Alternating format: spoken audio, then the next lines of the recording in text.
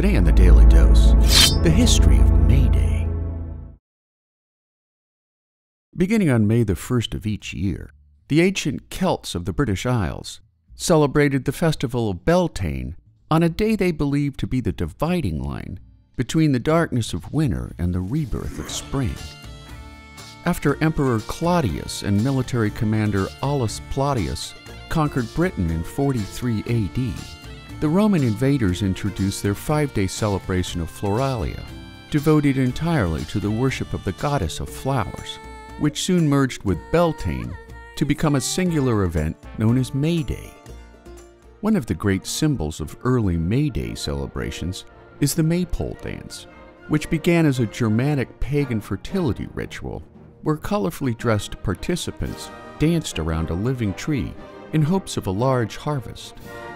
When the practice made its way into Britain, a living tree was replaced by a vertical pole strung with ribbons, which symbolized the branches of a tree and the fertility of men and women alike.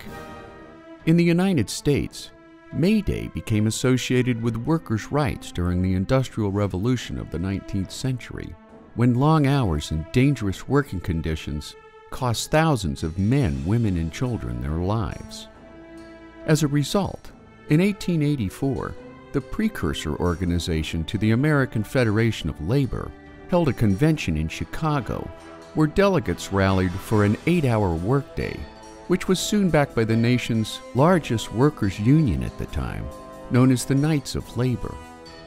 Over the next two years, May Day became the ignition point for massive labor demonstrations and strikes in most industrialized cities across America coming to a head on May 3, 1886, in what is now known as the Haymarket Riot, leading to the deaths of seven Chicago police officers and eight civilian protesters.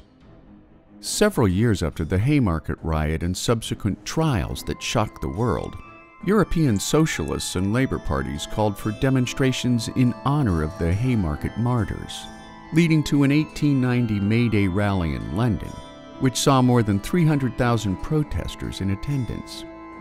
The workers' history of May Day was soon embraced by governments around the world, regardless of democratic, socialistic, or communistic persuasion, making May Day today an official holiday in 66 nations around the world. Except in America, that is, the country where May Day and workers' rights first began.